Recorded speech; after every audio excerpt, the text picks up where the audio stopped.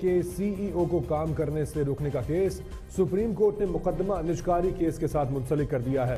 Chief justice نے remarks دیے کہ پی آئی اے میں سفر کر کے حال تو دیکھیں۔ پی آئی اے کی سی ای او ارشد محمود کی بحالی کی استدعا کو مسترد کیا گیا جبکہ عدالت نے بورڈ آف ڈائریکٹرز کو کام کرنے کی اجازت دے دی۔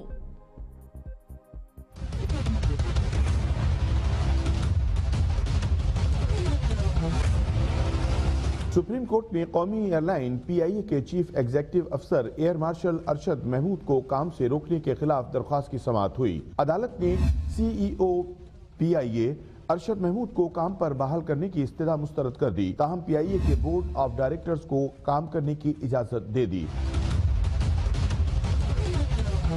سپریم کورٹ نے سندھ ہائی کورٹ سے مقدمے کی تفصیلات طلب کرتے ہوئے سی ای او پی آئی اے کا مقدمہ نجکاری کیس کے ساتھ منسلک کر دیا۔ Chief justice Pakistan justice Gulzar Ahmed نے ریمارکس دیے کہ پی آئی اے میں سفر کر کے حال تو دیکھیں، پی آئی اے کسی کی جاگیر نہیں، قوم کا اثاثہ ہے۔ سی ای او کو عارضی انتظامات کے تحت لایا گیا تھا۔ یہ موصوف خود ڈیپوٹیشن پر آئے اور دس بندوں کو ساتھ لے آئے۔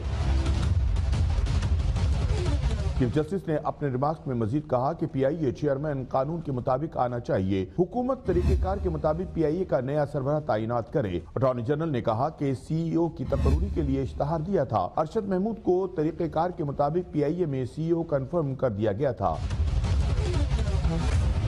جسٹس سجاد علی شاہ نے کہا کہ جب سے یہ آئے ہیں سو فیصد کرایہ بڑھا دیا۔ دیکھنا ہوگا کہ اشتہار کو کوئی خاص ڈیزائن دے کر تو جاری نہیں کیا گیا۔ پرانے اشتہارات کا بھی جائزہ لیں گے۔ عدالت نے کیس کی سماعت دو ہفتوں کے لیے ملتوی کر دی۔